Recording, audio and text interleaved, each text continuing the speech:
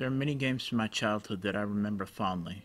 Grand Theft Auto San Andreas, Ty the Tasmanian Tiger, Lord of the Rings, The Two Towers, James Bond, Agent Under Fire, Red Dead Revolver, and Zoo Tycoon are all games that I think still hold up today. However, there are other games that I remember fondly that upon playing I found out were not so good. Brute Force, Star Wars The Phantom Menace, Zapper, and Enter the Matrix were all games that, upon playing as an adult, the magic was gone.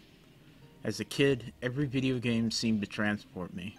Before I experienced so many good games, I only had a handful to play. I played these over and over, learning every last inch of them. Nostalgia can repaint the things from our past as being better than they were. We paint over the imperfections and mistakes of something that can be horrendous in fondness because of our desire to return to a specific time and place.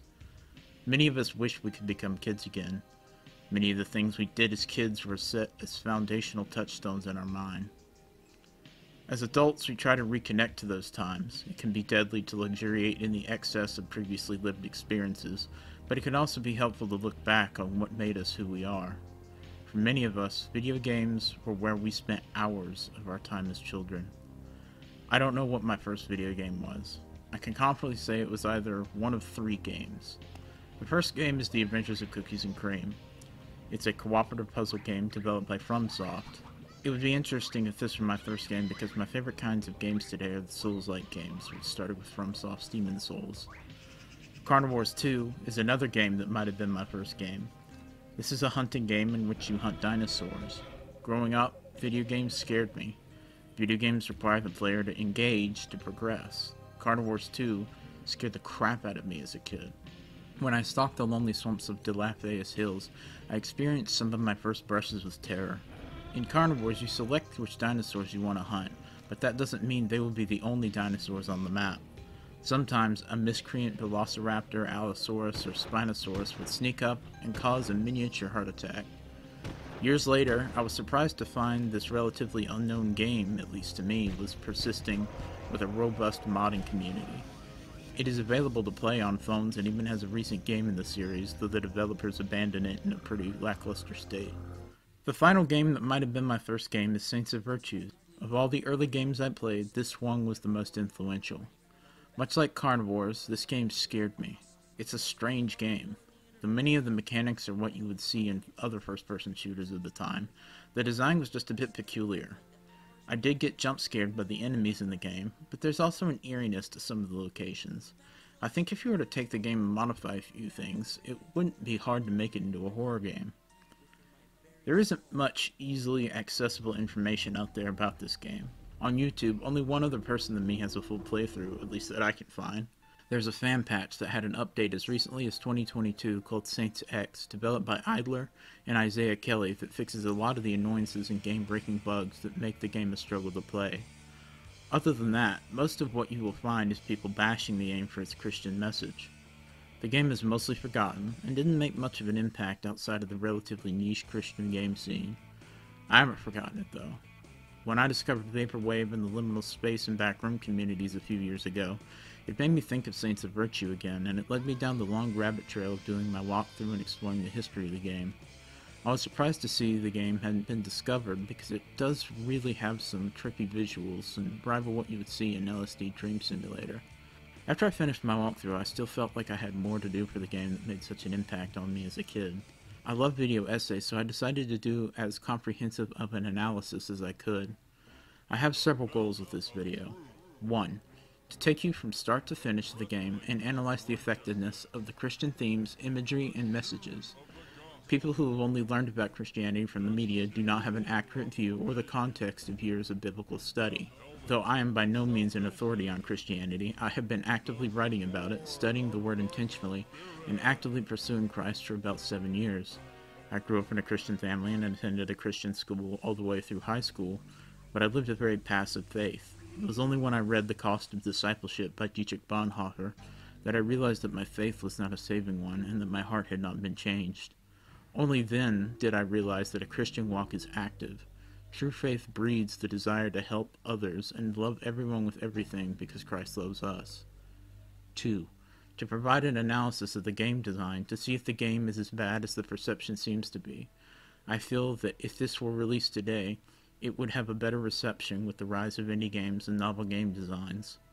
Back when this was released, what a game could and couldn't be seemed more rigid, and hardware and development resources were a limiting factor.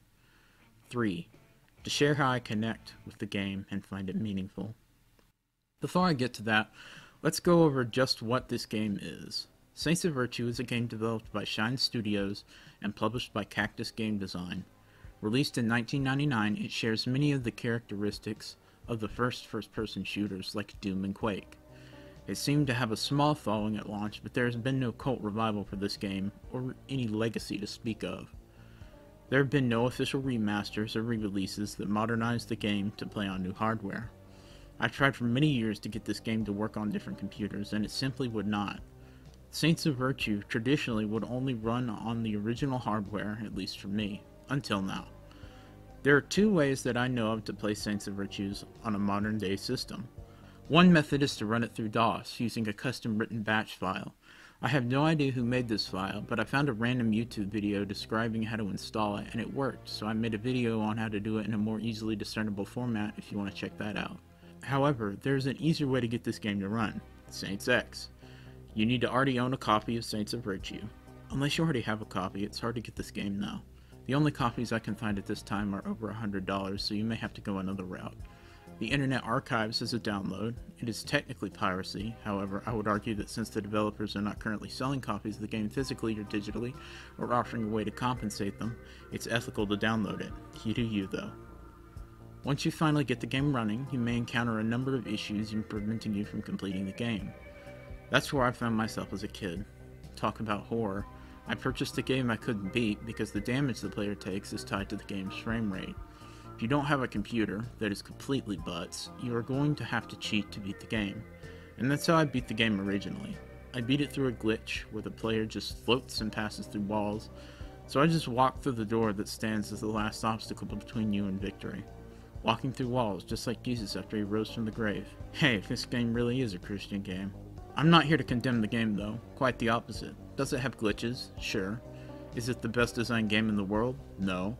Is it creepy and a bit like a psychedelic trip? Yes, but that's sort of why I love it.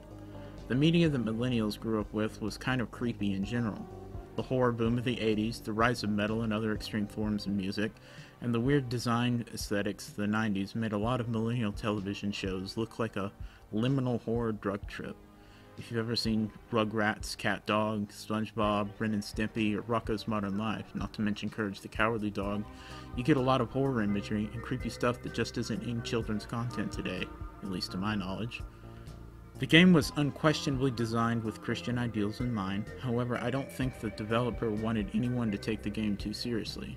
In the FAQ on their website, they said the game is more entertainment oriented than educational, you will learn verses from the Bible and have to think about how to best use them to overcome the worldly wisdoms. This game isn't meant to teach you the fundamentals of Christianity, but more to comment, possibly causing you to evaluate yourself and continue. It's not where you should start your child on a track of theological education. However, it might be a way for a young person to engage with the material on a level that has some meaning to them. I know I certainly enjoyed the biblical elements as a child.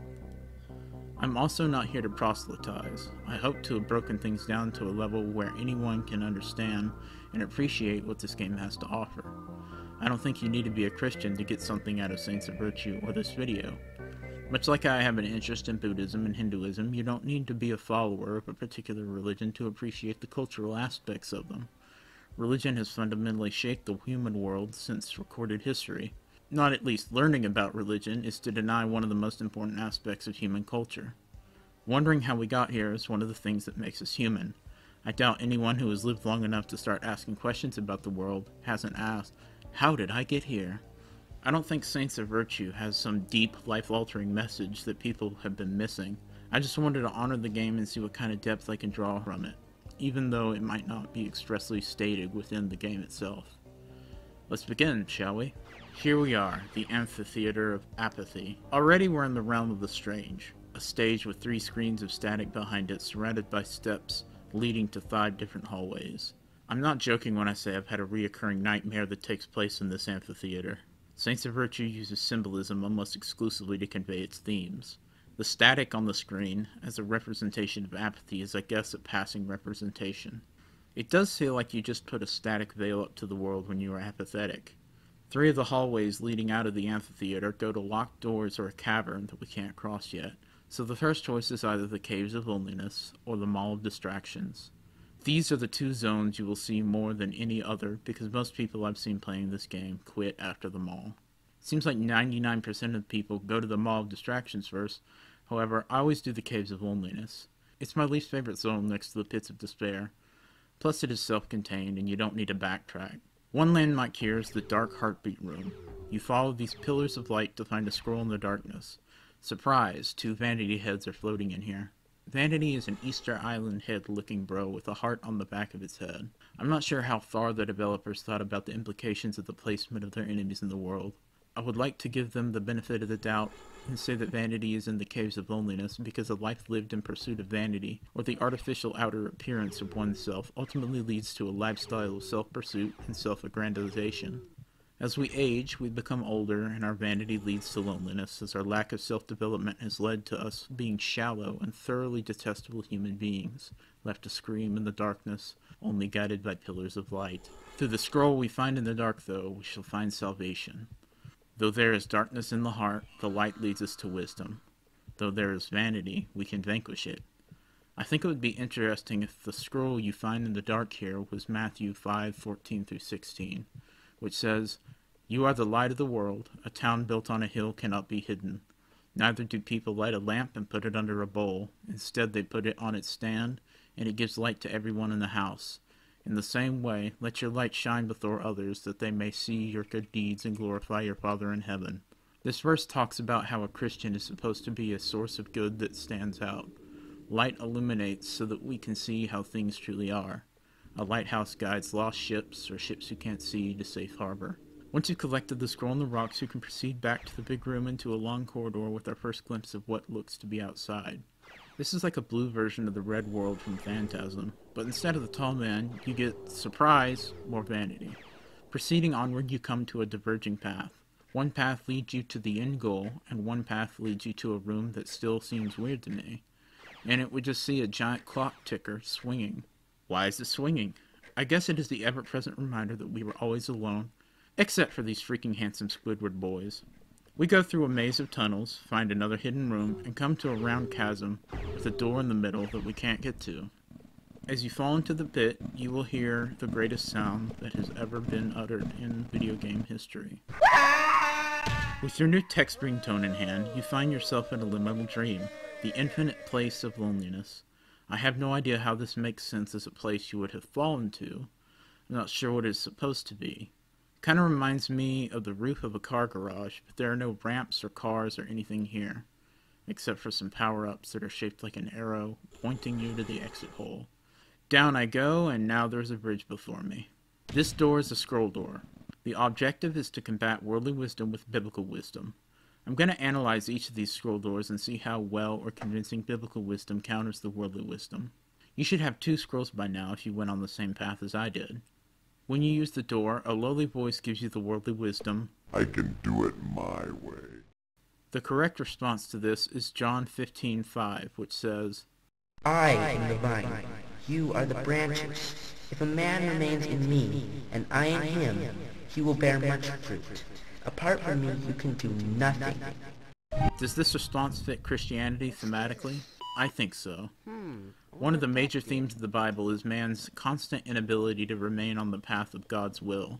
The story of Moses, Aaron, and Joshua in the Old Testament tells the story of the constant rebellion of the Israelites against God.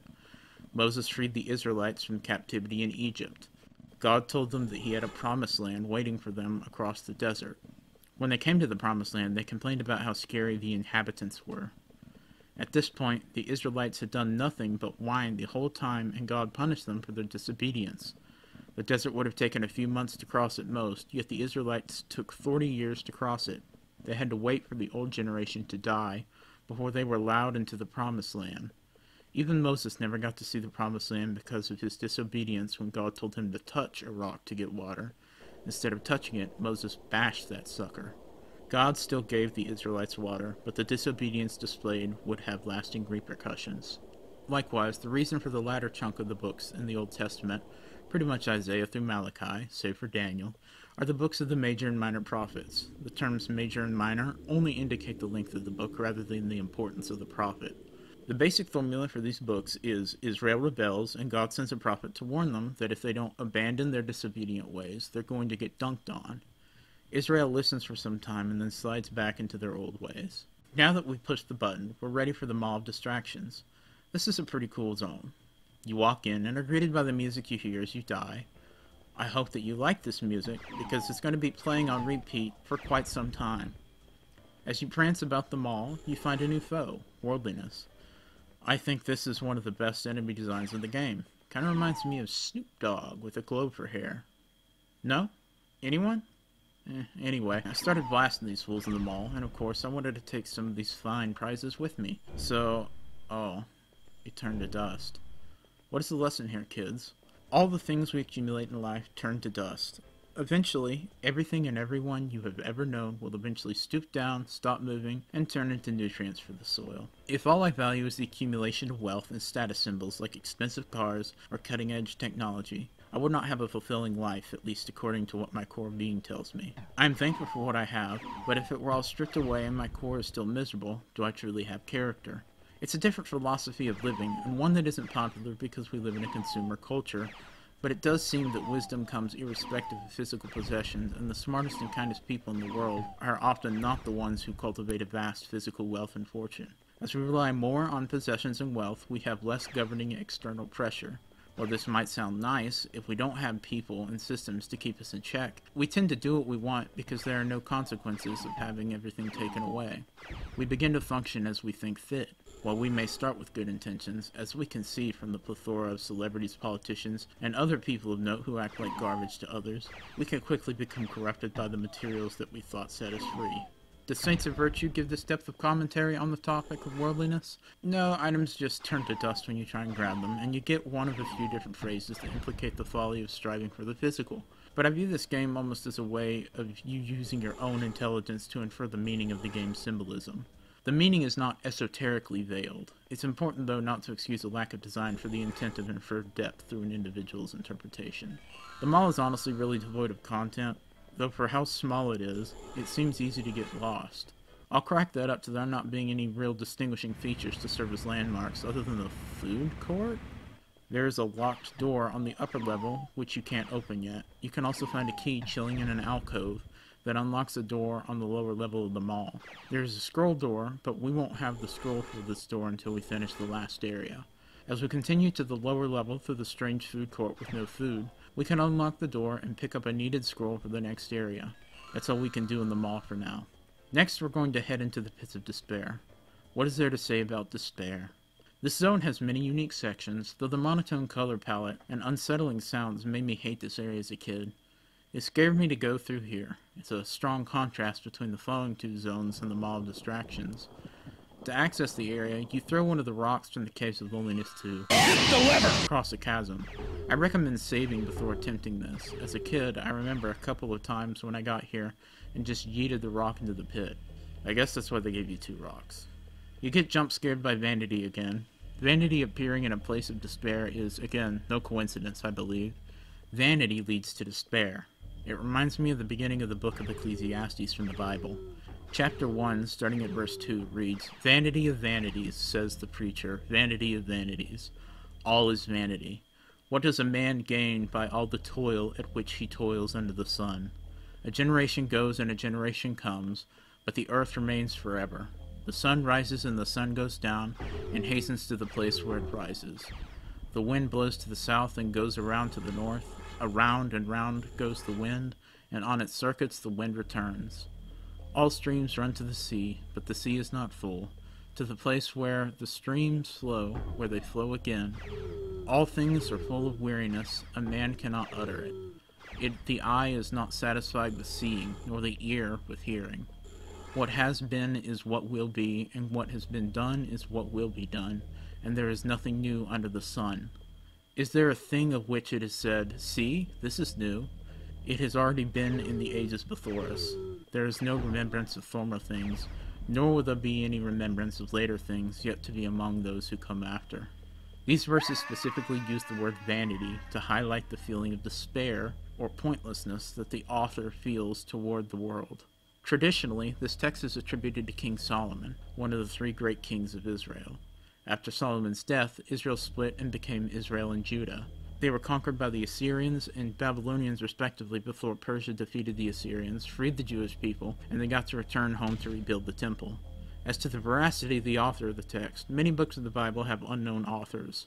Many early writers would adopt the name of a respected figure from their culture to give their writing ethos. Authorship debate is a subject that never really leads to a definitive answer, and I'm not going to try to tackle it here. Regardless of the author, vanity was the word chosen to describe their feeling toward the world. For us, however, vanity can have a double meaning. For us, vanity means pride. However, in the Hebrew in which Ecclesiastes was originally written, Vanity means something more akin to the word vapor.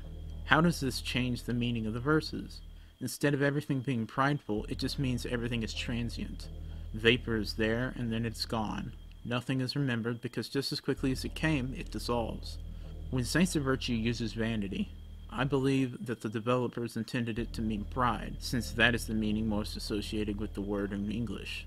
It is because of pride that we despair. Despair is everywhere in the pits of despair.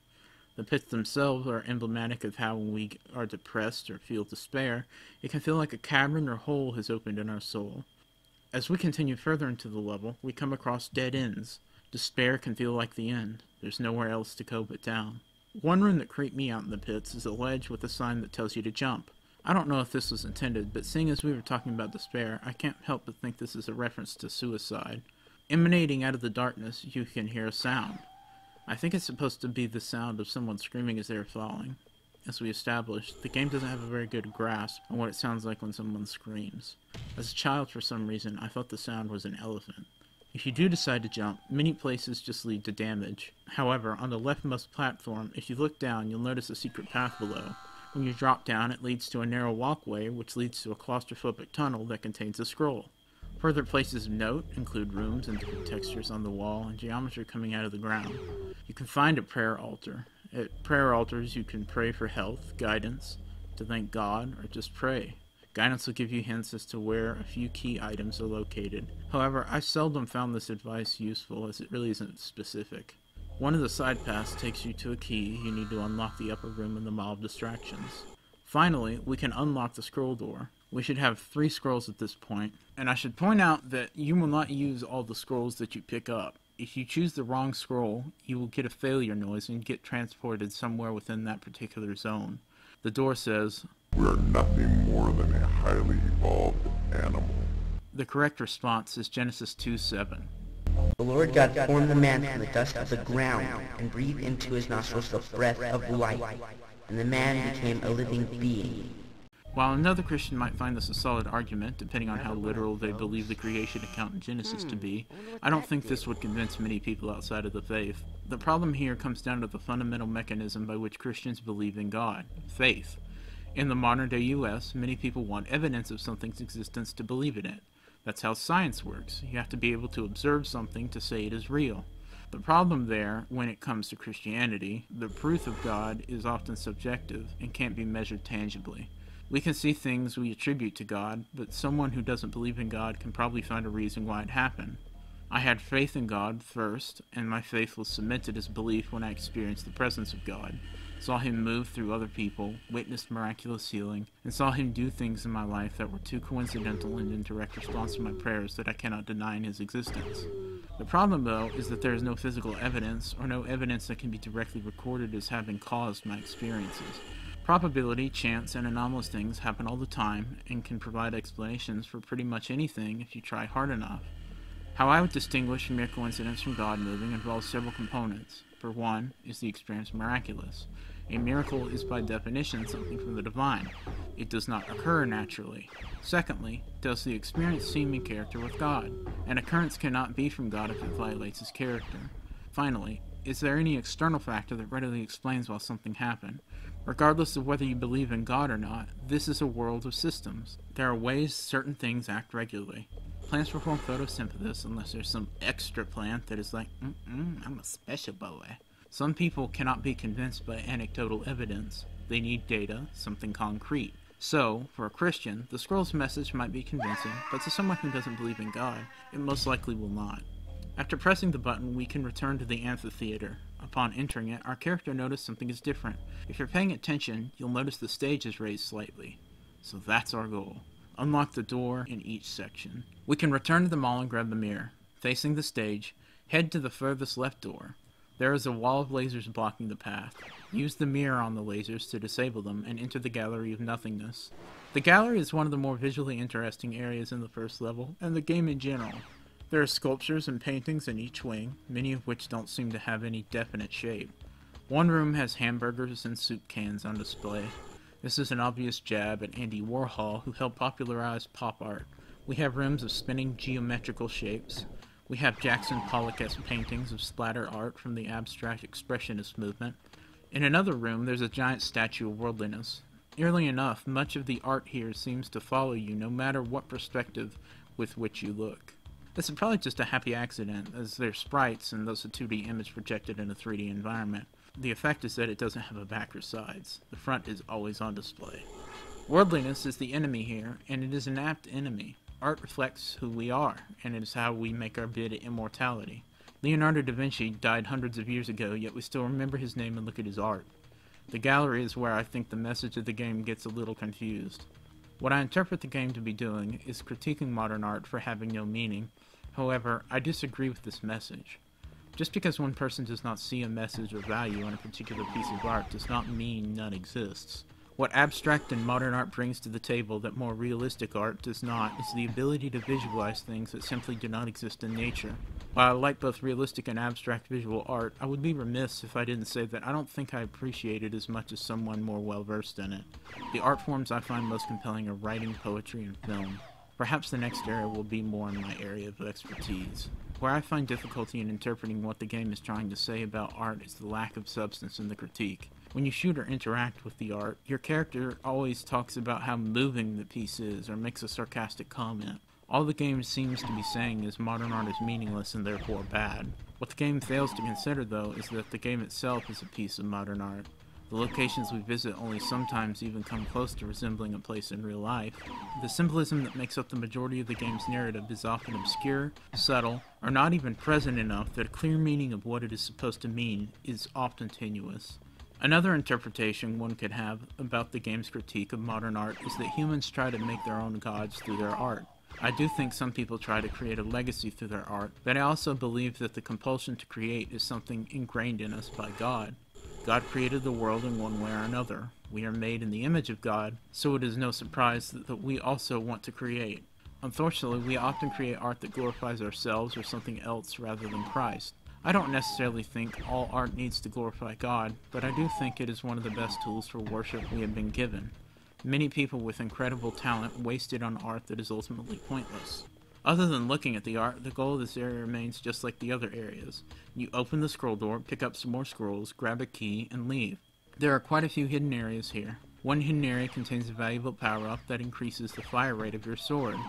When you take the right wing of the gallery, you come to a giant statue of worldliness that stares at you all around the room. You can go to an upper level and proceed through rooms with busts of famous people from history, philosophy, and art. After heading up a flight of stairs, we come to our next scroll door. The door says, God is dead. Well, now I see somebody's been reading Nietzsche. God is dead is part of a statement made by Friedrich Nietzsche, an important philosopher in existentialism and nihilism. These are philosophies that question the nature of existence, including the existence of God, meaninglessness, absurdity, and the human condition in the face of extinction and death. The full quote Nietzsche made is God is dead, God remains dead, and we have killed him. How shall we comfort ourselves, the murderers of all murderers?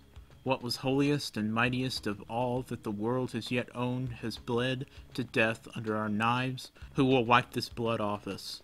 What water is there for us to clean ourselves? What festivals of atonement? What sacred games shall we have to invent? Is not the greatest of this deed too great for us? Must we ourselves not become gods simply to appear worthy of it?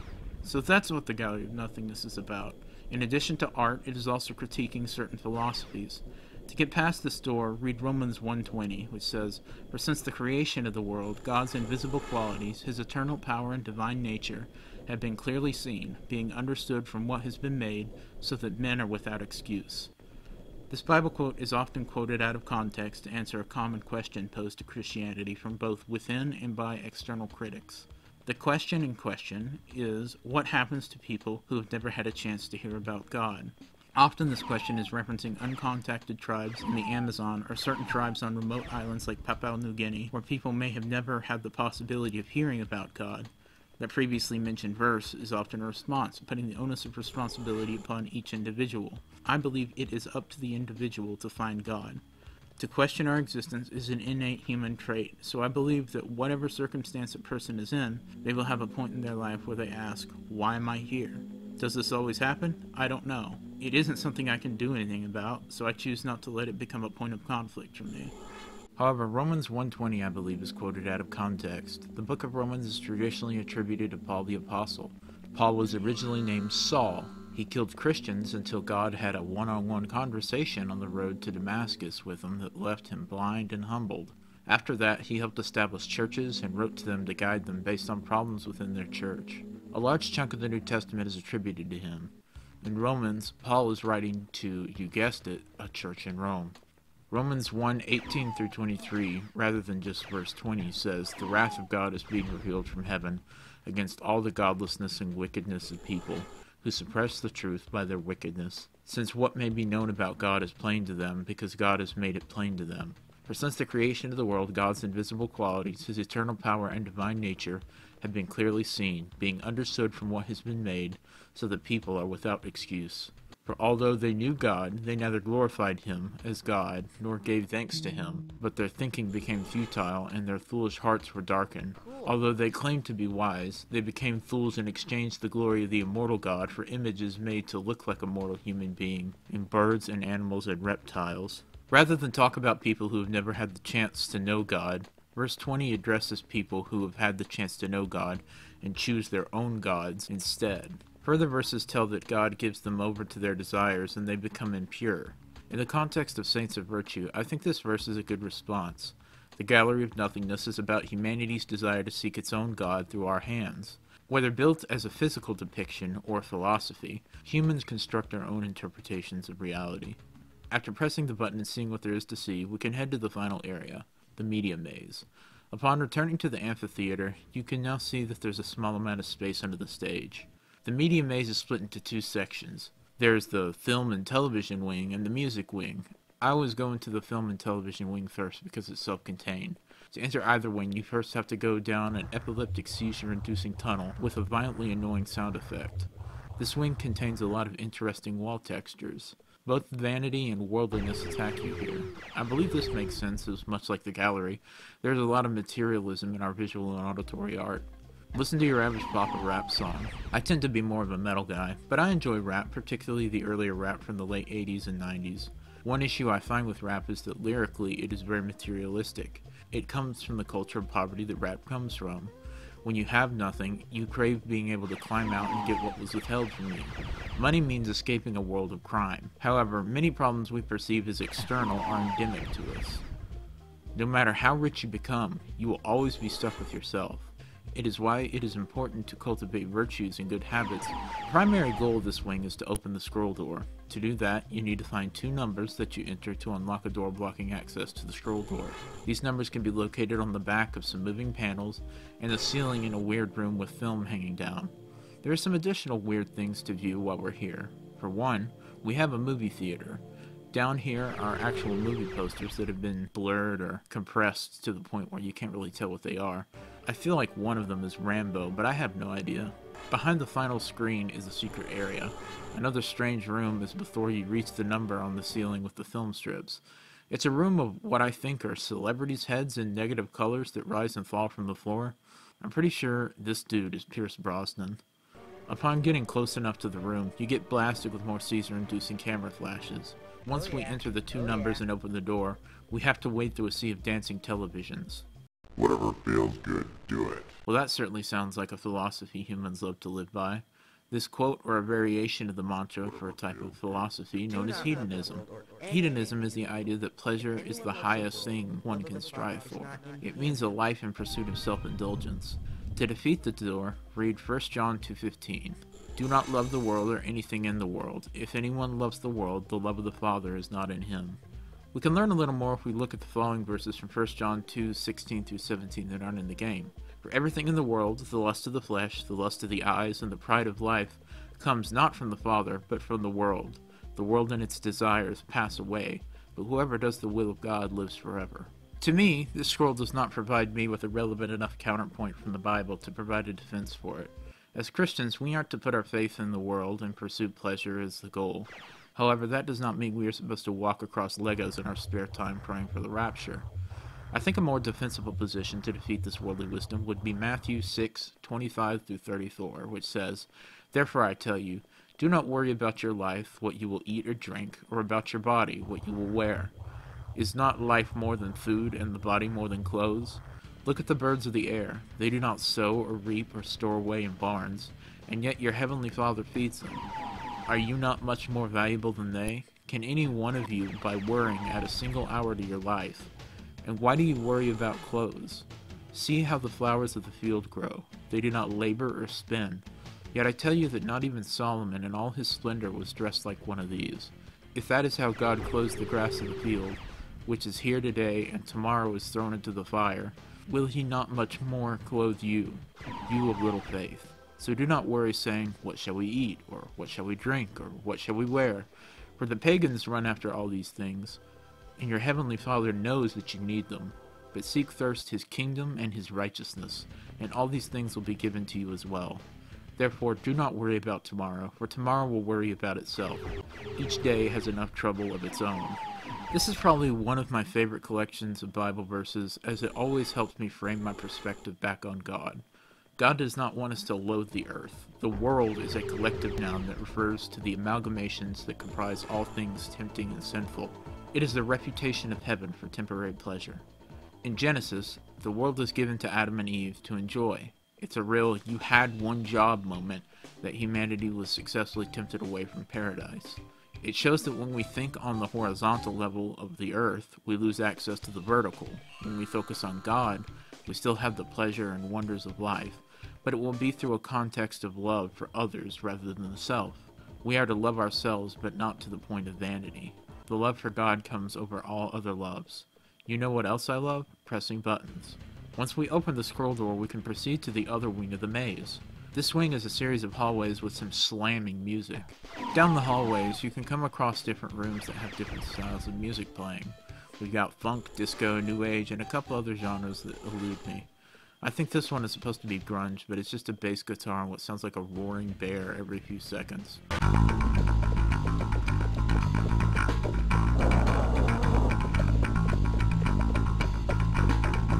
We also have a room with just drums and speakers.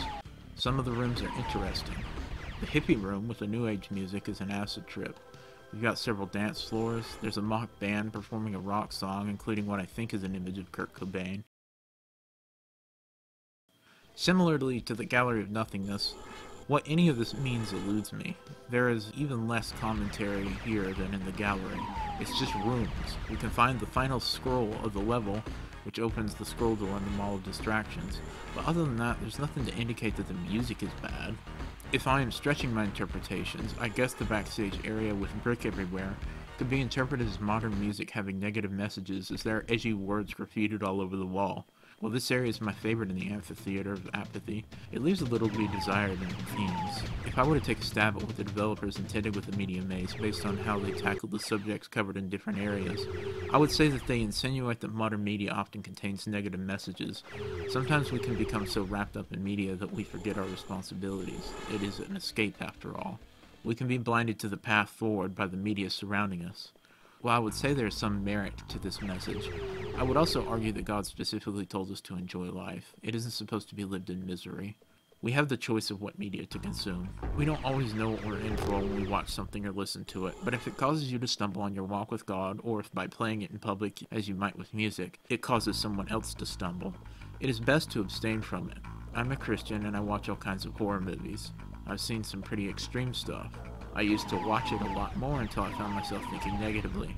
Now, I choose to consume it in moderation and steer clear of the stuff on the level of a Serbian film, and I'm in a lot better place.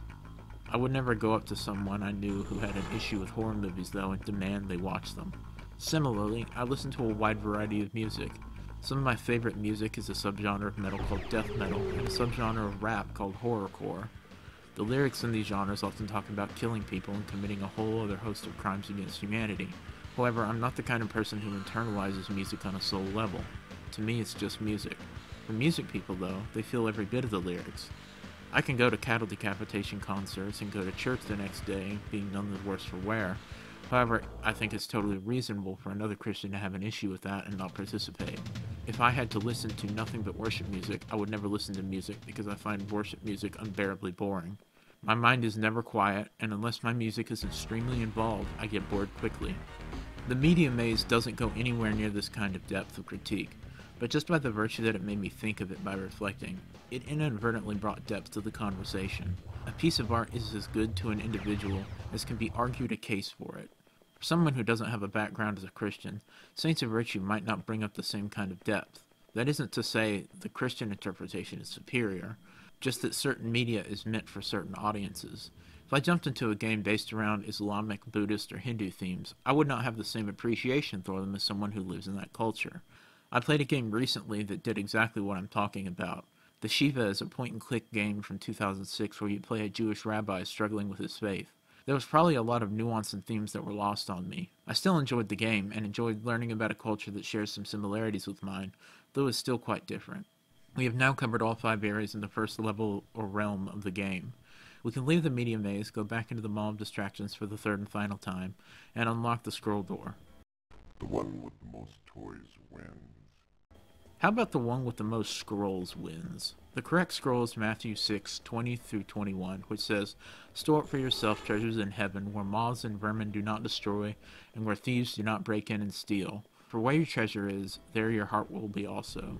I would agree with the sentiment in this verse. The assailant might say, But what about clothes and housing? Isn't it good to enjoy the things that God gives us? I would say that the previous verse isn't meant to encourage abandoning all material possessions. There's something to be said about asceticism, or the avoidance of self indulgence and unnecessary possessions, typically to grow one's faith. Perhaps the greatest support for living this lifestyle comes from Matthew 19, verse 21. This section of Matthew talks about a rich young ruler who asked Jesus how to have eternal life.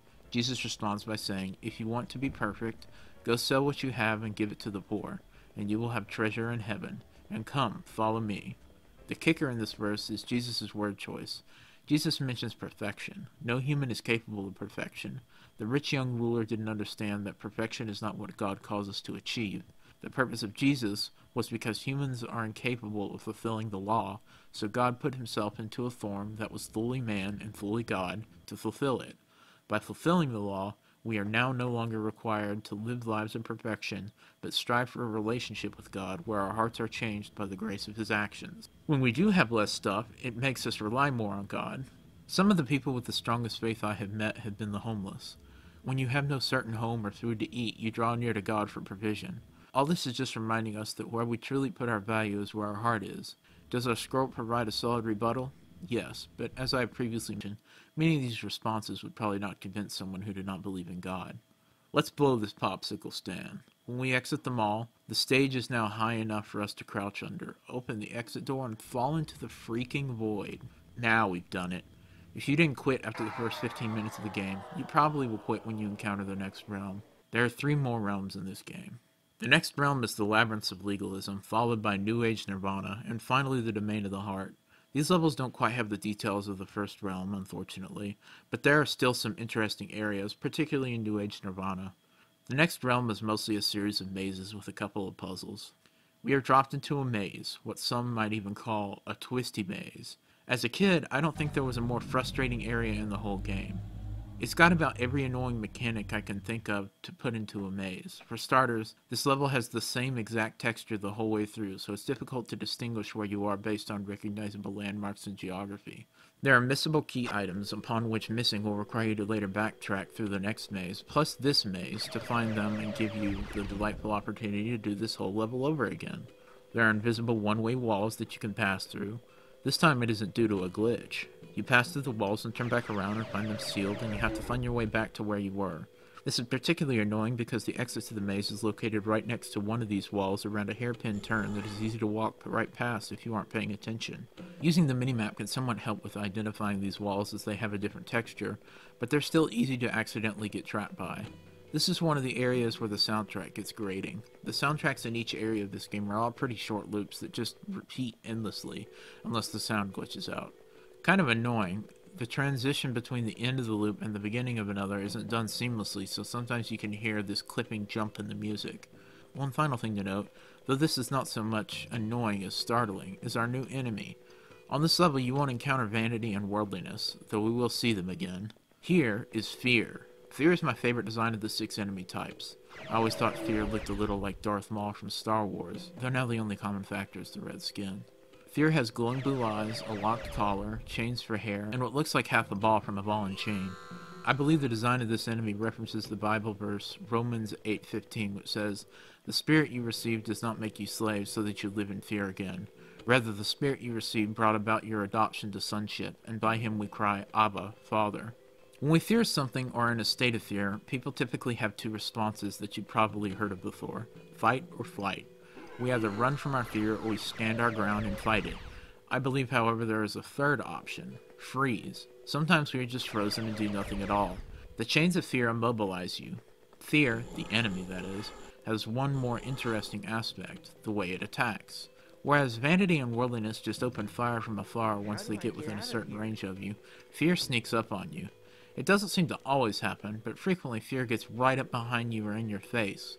This has led to many moments where playing where I'm running around and fear scares the crap out of me, causing my soul to leave my body. Fear's design makes it attempt to scare the player. It's pretty effective too. No matter how prepared I am for it, I always get started at least one or two times a playthrough. That isn't easy to do. I'm pretty much immune to jump scares. The mechanical design, in addition to the visual design, is why I think Fear is the most interesting of the enemies in the game. Anyway, down here in the Twisty Maze, there are three rocks you can collect. While technically you don't need them, I would highly recommend finding at least one, since if you lose the other item down here, it can be a royal pain to get it back. That other item is a lead pipe. You will need this to disable a trap shortly. There is also a scroll down here. Ah, yes. Didn't think we were abandoning scrolls anytime soon, did we? I don't know if you need the scroll. I've never mapped out which scrolls are vital ones in the game. I just usually pick them all up to avoid a headache since you have to visit pretty much every area in the game anyway. To exit this maze, it helps to have the map overlay on. When you find an area where the walls stop getting placed, and you walk down a corridor that according to the map should have a wall where there is none, stop before crossing the barrier and essentially turn left until you see a path where the ground slopes upward. After exiting, you will come into an area that looks like a dungeon. Don't walk into the rooms yet. Before we move on to the next nightmare of an area, I want to talk about what the Twisty Maze might represent. Back in the amphitheater, each area was a commentary on some way our society chooses to distract itself from our ever closer demise, or at least a side effect of living in a fallen world. In the labyrinths of legalism, each of these stages in the level should relate to how Christianity often turns away others because of the laws that are made by man. I grew up in the Seventh day Adventist Church. For those of you who don't know, this is a denomination of Protestant Christianity. On a very basic level, one of the big differences between an Adventist and a Baptist is that Adventists observe the Sabbath on Saturday, just like Judaism. Adventists don't eat unclean meat, such as pork or shellfish. Many are vegetarians or vegans.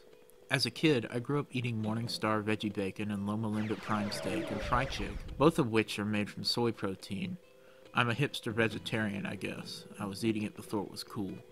Adventists believe in the soul sleep form of death, meaning that when you die, you remain dead until Christ's return. This differs from the Baptist belief that when you die, you go to heaven. Additionally, Adventists follow many of the Levitical and Deuteronomic laws of the Bible. I went to church school during second, third, and fourth grades. In second grade, I had five other classmates. In third grade, I had two. I think going here is a reason why it took me so long to be able to be normal in social situations. I still dislike even mildly crowded spaces. This climate of so few people, though, really did shape me profoundly. I have such nostalgia for those three years. During recess, we got to go back into the woods where we fashioned a little fort that wasn't much more than some sticks. We'd get to play in the creek a couple times a year. There was a loft we could climb up in to read during reading time. Eventually, our old pastor retired and a new one came in. His views on Adventism were extreme and he was incompetent, held poorly founded beliefs, and generally was just a turkey. His doctrine contradicted what my family believed. His education was from a university that basically just gives you a degree as long as you show up. My parents left the church, and I went to a different Christian school. This one was still small, but there were at least 150 people for most of my time there. I think my graduating class only had like 8 people though. It was cool because every student got a personal introduction at graduation. Even though I was at a Christian school, I sort of fell away from Christianity. I believed that God was real, but I didn't live a faith that included God in my day to day living. I gradually lost some of those rules from the Adventist church, but I still don't eat what is biblically considered unclean meat. When it comes to the twisty maze, there isn't anything inside the maze that could provide symbolism, so we have to think of the maze itself. If I were to liken legalism to a maze, there are some definite similarities between the two. It's confusing, there isn't a clear direction of what is right. Sometimes you think you are doing something correctly but hit a dead end. Navigating to find what you need is a challenge. Around every turn is some nerd trying to stop you. Legalism attempts to take away the faith of belief and replace it with laws. By following the law, you are a good Christian. It seems to ignore Paul the Apostle's declaration in Ephesians 2 8 through 9, which says, For by grace you have been saved through faith, and this is not from you. It is the gift of God, it is not from works, so no one may boast. Works, however, are not without merit. James 2:26 says, "For as the body without the spirit is dead, so faith without works is dead also." True faith brings good works as a consequence of the faith. If one finds that they have no works, it does not necessarily mean their faith is dead, but it can be an indicator that one has not truly been changed or has a strained relationship with God. The twisty maze is a representation of how the system of legalism makes it difficult for us to navigate what we need to do in faith. Proceeding onward, you have now come to the turnstile maze. If you know the path, this maze only takes about a minute to complete. When you step into any of the rooms, it turns you around so you might regress or take the wrong path. The key to this section is to use the rocks. Throw the rock into the hallway you want to go to. Get spun around and simply go to the hallway with the rock in it. You can do this with a pipe, but you have to be sure to get it. I accidentally left it in this maze before when I didn't have rocks, and it was difficult to retrieve it. The path is pretty simple. From the start, you need to go left one and then forward all the way to the end.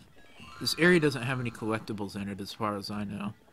As far as its connections to legalism, it is similar to the Twisty Maze. When we start having large system of rules, it's easy to get turned around and regress.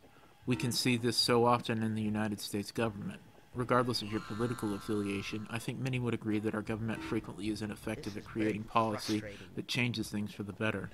So much of it is corrupted by people with selfish motivations, and money always spins things up. Exiting this maze, we come to a pillar. These are our scroll doors in this level. Currently, we can't defeat this pillar. Why are they pillars, and what's the significance? Right now, we don't know, but we'll understand soon. For now, we enter the trap dungeon. This is also an annoying zone, but more bearable than the previous two. Upon entering, a fearhead attacks you, but in the distance, a new challenger approaches.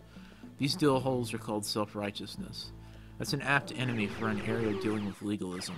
Just like the earlier Paul quote from Ephesians talked about, so often legalistic people get this aura of superiority, as if their walk is a divine sun that lights the path to all things wondrous.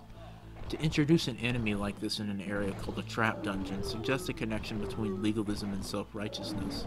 Self-righteousness is a blue mask with what to me looks like a powdered wig and a clerical collar. While powdered wigs have historically been used by many different jobs and class levels, they are often associated with judges, aristocrats, and politicians, the exact kind of people who create laws. The clerical collar shows self righteousness is not contained to just the secular world, but also to those who claim to know God. The secular judge and the Christian minister can sometimes serve the same purpose. The mechanic unique to these enemies is that some of your sword shots seem to glance off, almost as if they are dodging your attacks. If you want to be generous, you could say their dodge is symbolic of how politicians slip and slide between their statements, speaking much but saying little. This can be further cemented with their death animation. It doesn't happen every time, but sometimes upon defeat, their tongue will extend out, as if their lies and legal pedantry have finally caught up to them. Now that might seem like a generous interpretation, and that is what a large amount of this video is. A great deal of meaning derived from this game is drawing meaning between things in the game that haven't been explicitly linked or told to you. Much of the meaning I've derived from this game is purely reading into things in proximity and drawing lines as to how they might connect. However, I still think there is merit in inferring your own meaning when none is explicitly stated. In a more serious context, this might lead one into logical fallacy territory, but I don't care, I'm the writer here. Now where were we? Oh yeah, navigating the trap dungeon. The ground will rise and lower, which is annoying in the stock version of the game, where you don't have full control of the camera with the mouse, but with Saints X it isn't much of an issue. Traps defeated, atheists. There are pits to fall into, but if you use the mini-map and just keep your red dot out of the pits, you can breeze right through them. At the end of the left passage, you can find a secret wall that lets you get a view of what we're trying to destroy. The text reads, Before you stands the Palace of Pride. Within these walls, pride pronounces judgment over your life, and fear shackles you with heavy burdens. In this text, self righteousness is called pride. For the sake of consistency, I will continue to refer to them as self righteousness. This little bit of text gives us some larger context as to the overall spiritual journey of the game. After defeating apathy, we have fallen into the clutches of legalism, Fear and self-righteousness try to claim us, shackling us to the man-made rules instead of the freedom that Christ truly brings. To reiterate Romans 8:15, we are not slaves to fear. When presented with the distant view of the palace of pride, we are given a view of what we must destroy. That pillar we encountered earlier? That is one of the pillars we must destroy to topple the temple. As an aside, I don't know if destroying the pillars is a biblical allusion to Samson, a biblical figure known for using his super strength to knock down the pillars of a temple, killing a bunch of Philistines, but I'm going to go ahead and say it is, because I'm the writer. Anyway, the trap dungeon is pretty linear. There are three lines you go down, and I do the other lines before getting to the next section. One trap of note includes a wall that falls. You need to throw the pipe you got in the twisty maze and lodge it under the wall so you can crawl under. A couple of rooms over, the ceiling drops down, but not all the way. You shouldn't take damage if you crouch when you enter. The final trap is the closing walls. If you play Saints X, these won't be as fast, but you basically activate them and run back to the start. There's a corridor behind the walls that you can go down to get a scroll, and our first of two additional useless weapons. Unless you're playing Saints X. Because of the previously mentioned frame rate tying into mechanics in the game's clock, even with a speed upgrade, the other two weapons fire too slow to be much use except for a couple of sections at the very end of the game. Now that we're done, we can head to our next area, the trap room. The trap room is one of the smaller areas in the game. On the far wall, a door is locked with red lights indicating switches that need to be flipped. There isn't much in the way of thematic elements here, but I'll mention them as we solve each trap. Going left, we need to pull the correct chain on the wall to raise the stairs to our first lever. The chain is the furthest one on the right when looking at the wall at the end of the path. Next to the moving platforms. When you jump on a pillar, it moves. You have to trial and error your way across. Follow the path I might play through the correct sequence. Returning and taking the high path, a discolored stone is on the wall. Push this to disable a trap where a cage falls on you and soft locks you until you reload. Heading up, step on the discolored tile to disable the crushing ceiling. Press the brick on the right to disable the pinching walls. Next, step on the stepping stones in the correct order to raise the pillar enough to crawl under. I still don't remember the correct order. You only need a couple to get under, though. When you flip the switch, it doesn't do anything. Surprise, nerd, it's a fake switch. The real one is on the back. Don't make yourself have to do the stepping stone puzzle again. Next, head down to where the cage will drop on you. Prepare to cry, it's the turnstile mechanic again. Just walk slowly so you don't skid too badly when you get yeeted. Finally, you have to platform across more pillars to get to a switch under the platform that leads to the door. Once all five levers, six if you include the fake one, have been flipped, the door will open, and you can get out of here. The only symbolism here is the trickery the trap room uses. If you go in here blind, you will probably have to reload a few times. The trickery is indicative of the previously established idea that self-righteous tries to trap its victims with ruses and technicalities that can ultimately lead to dead ends. Leaving the trap room, we are in a lobby of sorts, and can head down a new path to the abstract maze. I won't be spending much time here because the commentary is one note. It's a maze. Mazes in the context of legalism can represent the constant worming and confusing ways laws, both judicial and religious, trap us. Boom. Done. Make sure to pick up the scroll at the bottom of the maze and on top of the maze before finding your way out. It isn't hard to trace your path. Do what all kids do at some point. Look at the end of the maze and trace your way back. Set a spot you need to get to and draw your way there. Fear is your enemy here. They do cause fear here because they suddenly pop up from the depths of the maze and attack. The knockback on their attacks can easily knock you off of the maze, resetting your progress. There are only a couple of elevators back up, and none of them are near the exit. Once you leave, you're ready for our final path. Down this long hallway is a prayer altar. Finally, we enter the rules maze. We encounter signs along the path that give us directions. Some signs are in red and some in black. You want to follow the black signs and do the opposite of what the red signs say. If I was feeling vindictive, I could say, But don't some Bibles put Jesus' words in red? Are you saying to disobey Jesus? But that's a bit of a stretch. As usual, we're hunting for scrolls and any power-ups you may need. The rules maze states through its mechanics that some laws are to be followed and some are not. As to the scope of this, that is up to one's willingness to extrapolate. Romans 13, 1 through 7 can give us some enlightenment about what one is to do biblically regarding laws.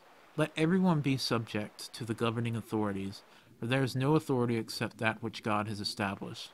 The authorities that exist have been established by God. Consequently, whoever rebels against the authority is rebelling against what God has instituted, and those who do so will bring judgment on themselves. For rulers hold no terror for those who do right, but for those who do wrong. Do you want to be free from the fear of the one in authority? Then do what is right, and you will be commended. For the one in authority is God's servant for your good. But if you do wrong, be afraid, for rulers do not bear the sword for no reason. They are God's servants, agents of wrath to bring punishment to the wrongdoer. Therefore, it is necessary to submit to the authorities, not only because of possible punishment, but also as a matter of conscience. This is also why you pay taxes, for the authority of God's servants who give their full time to governing. Give to everyone what you owe them. If you owe taxes, pay taxes. If revenue, then revenue. If respect, then respect. If honor, then honor. The Bible says that we are to follow the laws of our land. Governments were placed there by God. This goes back to the Old Testament. King Saul, King David, King Solomon, and all the mostly garbage kings of 1st and 2nd Kings and 1st and 2nd Chronicles were instated because people asked for a king. God wanted to have a relationship with his people, However, man would not follow God's will. Once man decided to be ruled, God gave people over to the rule. He didn't abandon his people, though. When things got bad, God would send a prophet to put Israel back in line. However, this obedience never stuck. In Hosea, God describes it as the morning dew. How it'll be there, but then it goes away. Essentially, after the last prophet, there's a 400 year gap in the story until we hear from him again in the Bible in the form of Jesus' birth. However, that does not mean God went and took a nap. There are many apocryphal and pseudepigraphal texts. These are texts that were not included in the Bible that was compiled by the Council of Nicaea or later compilers of the Bible. These councils were where early church fathers laid down the doctrine that is foundational for modern day Christianity. This is a large oversimplification of events, but I am no biblical scholar by any stretch of the imagination. However, I also wanted to know why Christians believe the current books of the Bible are accurately depicting God. Why are some texts included and others thrown out? There is not a single answer. Some were not widely circulated enough to be credible. Others were written so long after the events that they were not verifiably accurate. Another reason is that all the members of the council retreated and spent time praying and meditating, and all of them came back with the exact list of books in the first book we called the Bible. There are other reasons, but I'll leave the deep theology for a video that isn't about a video game that looks like an acid trip. Tangent aside, Rulers are here because we asked for them. If the government was placed by God, why has government throughout history largely been corrupt and evil? This goes to the idea of free will. If God is a God worthy of worship, he must be good. I would not willingly worship an evil God. If you believe that we have free will, the ability to, at least from our perspective, control the direction of our lives and how we live it, then a good God would let you exercise that free will.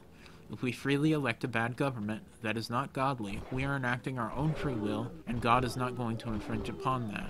To take away free will is to make one a slave, and the Bible is clear that we are not slaves under God. This same goodness is why bad things happen to good people. If God is only there to be our tool to wipe away the bad, we are using God. Our ways are not His ways. I've heard the argument I'm making phrased way better by much more educated people than I, so I hope what I mean by this is clear. Bad laws and governments exist because we have the free will to make them exist. God let us choose to instate them. Some might argue that we don't have free will. This is the idea of predestination, the idea that our entire lives are already predetermined before we are born. It is one of the core beliefs of Calvinism. However, particularly in newer forms of Calvinism, this is its own kinds of legalism. To defeat legalism, we must choose what is right and wrong. This is the symbol that these signs create. Finally, we come to a desert. This is more of the same rules as before, but with a twist. You have to follow the black signs and just completely ignore the red signs. These signs have a bit of a quirk. You need to move right up to them, or the game won't register you as having been to the sign. I assume this is so you have to follow the signs instead of just roaming around the desert till you find the exit, since it is only after the final sign that you can hear a door slide open. Make your way through the final enemies, pick up the scroll, and get ready to crack some pillars. Pillar 1 says, You can be good enough to get into heaven. The game says the verse is Ephesians 2.10, but it is actually Ephesians 2, 8 through 9, which reads, For it is by grace you have been saved, through faith. And this is not from yourselves, it is the gift of God, not by works, so that no one can boast. Ephesians 2:10 actually says, "We are God's handiwork, created in Christ Jesus to do good works, which God prepared in advance for us to do." The irony of them listing this verse instead of the intended verses is not lost on me, though I haven't done translation comparisons to see if there's a translation where Ephesians 2:10 says the verse given in the game. The Bible isn't contradicting itself by saying that we are saved by faith and then saying that good works are what we're meant to do. As I've stated earlier in the video, Good works are evidence of a living faith. They aren't the only determining factor. Humans are not single shades. Good people do bad things and bad people do good things. We all start in innocence, and only with the onset of sin do we become corrupted. I would argue there are no bad people, only people being used by sin. The next pillar says, follow all the rules, that's all that matters. The correct response is Romans 3:20, which says, Therefore, no one will be declared righteous in God's sight by the works of the law. Rather, through the law, we become conscious of our sin. This verse is in the context of a much larger passage talking about the legalism of the Pharisees and the Jewish tradition of following the law. Paul is writing that we are saved by faith. Following laws do not make us righteous because no one is righteous. The law exposes our unrighteousness. The third pillar claims that Christianity is a great burden because of its many rules. If I had a dollar for every time I have heard that one before. The response is Galatians 5.1, which says, It is for freedom that Christ has set us free. Stand firm then, and do not let yourselves be burdened again by the yoke of slavery. This section of Galatians actually talks about circumcision, and how the Jewish men would boast that circumcision set them apart as righteous. Paul argues that Jesus freed us from this need to set ourselves apart from others through ritual as part of saving grace. Customs and rituals can still play a role and are some of my favorite parts of religion, but when they become a shackle, it defeats their purpose. The final pillars say, image is everything. Proverbs 21:2 responds, A person may think their own ways are right, but the Lord weighs the heart. This is the only pillar where the response does not make much sense to me. The verse claims that you can lead the perfect life in your actions, but if the core of who you are begrudges it the entire time, it is not changed by your faith. You have accomplished nothing. So in the abstract it works, but in direct response, not the strongest response. With all four pillars cracked, we have toppled the palace of pride and overcome legalism. Two Thor levels down. As an aside, this might also be a stretch, but I just noticed it while writing this script. There are Thor levels in this game. The story is a visual abstraction of the process of changing one's heart from a worldly heart to one where Christ rules. There are Thor chambers in a heart. Could each level represent one of the chambers? I don't have any evidence that this means anything, but I thought it would be an interesting thing to note. Well, we're halfway through the game. These last two levels tend to be a bit longer because of the large amount of backtracking and confusing layouts. The next level is an absolute nightmare with the inventory system, if you're playing the original game. If you aren't using Saints X, this game is unstable and crashes frequently enough to be annoying. The next level requires you to carry more items than you have inventory for. As a consequence, you have to drop items and come back for them. However, if the game crashes, it doesn't remember where you dropped the item, and they are no longer in your game. This effectively makes the game unbeatable, and you have to revert to an earlier save. I hope you have one. The only way I got around this was by knowing what was behind each scroll door and only opening them when I knew I could take them directly where they needed to go. Level 3 is probably my favorite of the Thor levels visually because of how strange it is. This is the New Age Nirvana.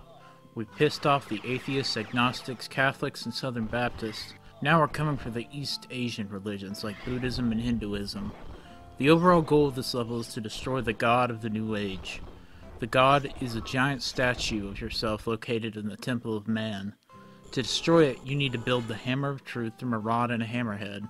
However, there is a force field protecting the statue. To disable that, we will need to find three blocks with Hebrew letters on them.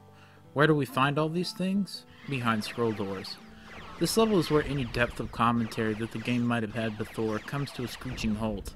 The story of this level is interesting and can be mined for some meaning, and the enemies are thematically appropriate, but most of these areas are just temples and shrines with very little that I can extrapolate any kind of meaning from. This map sprawls and has a lot of shrines to visit. It is very easy to miss stuff here. It does have some banging music though, and you're gonna hear it over and over and over. We start by entering the Love and Peace Temple. We immediately come across our first new foe, self-glorification. When they shoot their fireballs, a crown of electricity emanates from around their head. I don't know if this is supposed to be an allusion to Christ wearing a crown of thorns. To me, it would make sense since the pinnacle of self-glorification is to deify oneself. It also invokes the Greek tradition at the OG Olympic Games of placing an olive leaf on the heads of winners. This would fit with the visual design of the Temple of Love and Peace being somewhat Greek. The olive branch was also a symbol of peace, so Self glorification also has the Eye of Providence on its head. This is the symbol you see on American currency and is often associated with the Illuminati. In Christianity, this eye means divine providence. The triangle represents the Holy Trinity. Self glorification's most pronounced mechanic is that when you kill the mask, the golden guru on the back of its head detaches and attacks you. This nerd is pretty weak, but he's fast. It is posed in a classical meditation pose that one can often see in artwork of Hindu gods. Oh, yeah. Self glorification is a sin because it attempts to credit the self rather than God. Biblically, all we are given comes from God. When we credit ourselves, we rob God of the glory he deserves. As we make our way through the Love and Peace Temple, we can find a power up for the Twin Sword. There are some paintings, but I'm not really sure of the style. I want to say it's Baroque. I always start by taking the left hand path that leads to the gardens. Oh, the gardens. Welcome to the music played in the gardens of hell.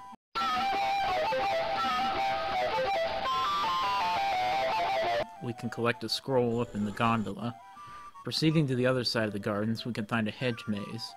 In the hedge maze is a scroll door that says, God is love and would never hurt anyone. The response is Romans 2 5. But because of your stubbornness and your unrepentant heart, you are storing up wrath against yourself for the day of God's wrath, when his righteous judgment will be revealed. God is a God of love. Just like a parent must discipline a child so that they can learn how to behave properly, so too does the Heavenly Father discipline his children when they go against his will. Our judgment is brought upon us only by our inability to lead perfect lives. It is only by realizing this and repenting that we can start the process of sanctification. Once we're done with the scroll door and escape the hedge maze, we are done here for now. Head down the only untaken path and through a long cave. Eventually you will come to a crossroads. Go straight till you come to the blue building. This is the Shrine of Heaven. The music here always makes me feel kind of weird. Head left first and get the loot, then right. By this point in my walkthrough I was out of ammo. You do not want to get stuck and have to stab these dudes if you aren't playing with the fan patch to fix the frame rate damage relationship. Hack through the place until you come to a door where you can use the key you got in the pool back in the Love and Peace Temple. You can push a discolored wall here to get super armor, much needed by me. There is also a scroll in here. There are several smaller temples outside the main temple that each contain objectives of varying importance. The green building on the right contains nothing of note. The next building over has a series of bells you have to ring all at the same time to get a medallion to appear. This coin unlocks the Earth Shrine. The next building has a maze with a scroll door that we can't open yet. The next building is pure darkness. There is really nothing useful inside other than just some generic power-ups. The final building contains a scroll and power-ups. Let's pause here and examine the Shrine of Heaven and its outlying buildings.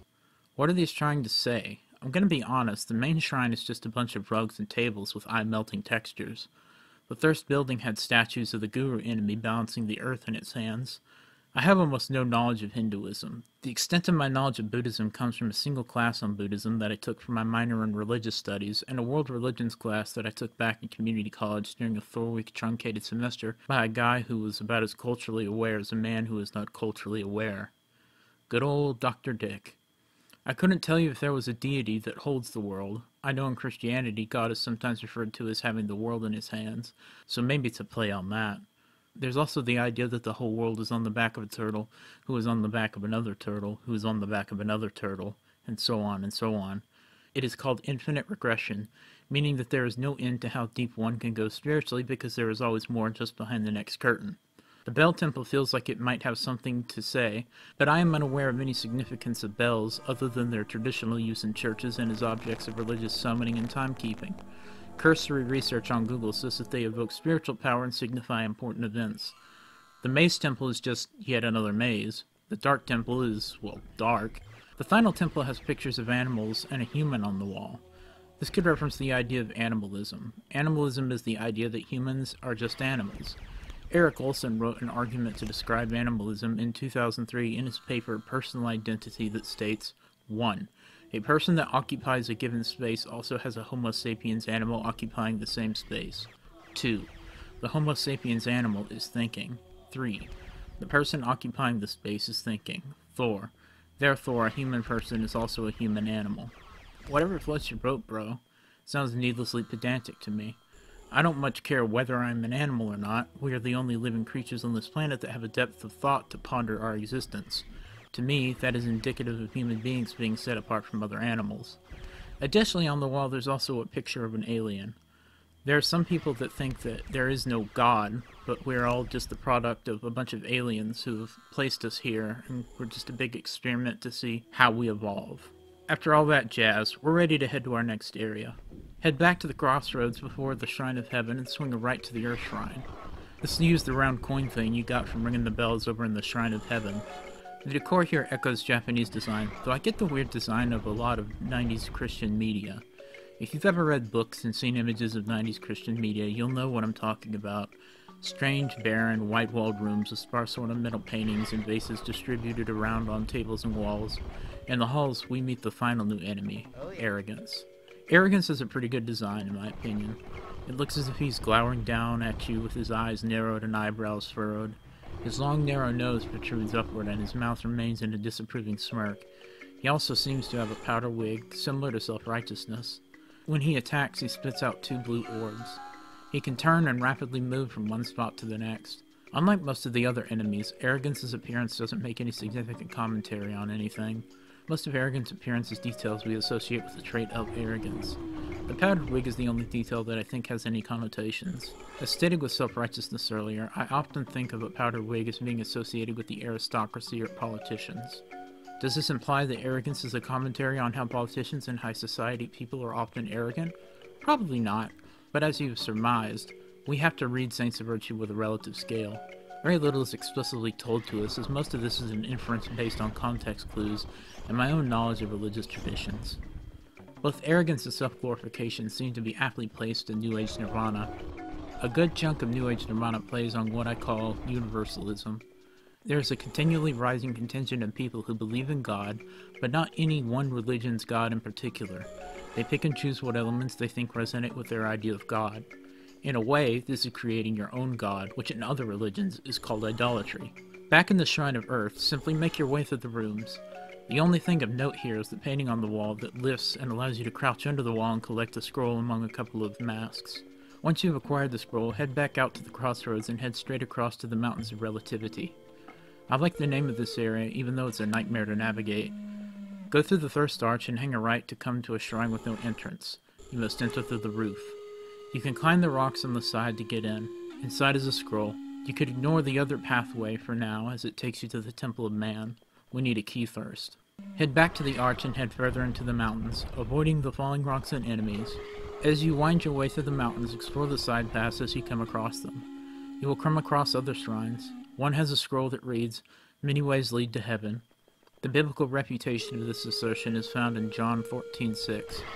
Jesus said to him, I am the way, the truth, and the life. No one comes to the Father except through me. Matthew 10:32 through 33 also says, so everyone who acknowledges me before men, I will also acknowledge before my Father who is in heaven. But whoever denies me before men, I also will deny before my Father who is in heaven. The idea that many ways lead to heaven is called relativism. Relativity is a strange concept to tackle. Everything in life is relative to something. Comparison and scaling are how we make decisions.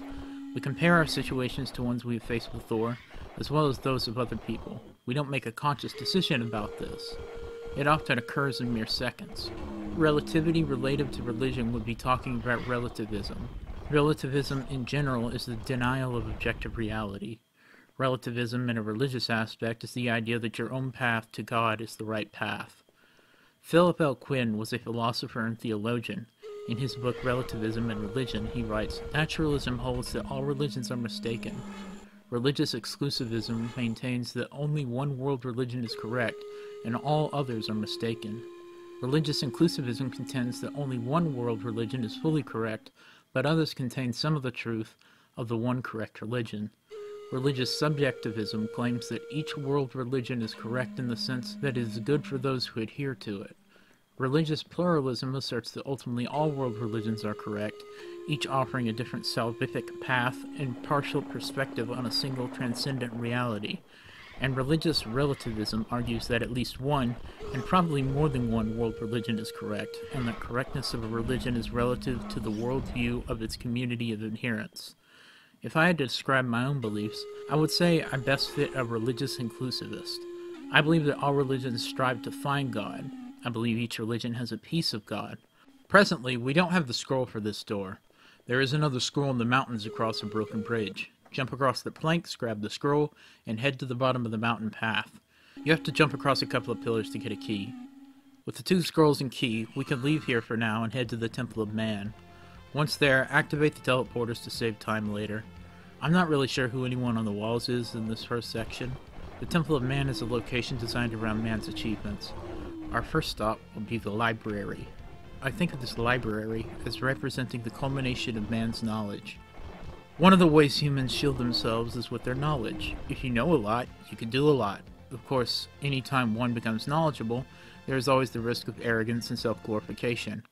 We see this in academic settings with regularity. I had more than one professor in college who seemed to think that they were the reason the students showed up.